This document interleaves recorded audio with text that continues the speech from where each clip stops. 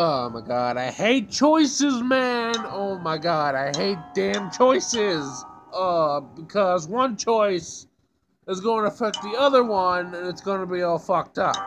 Oh, come on, I hate choices.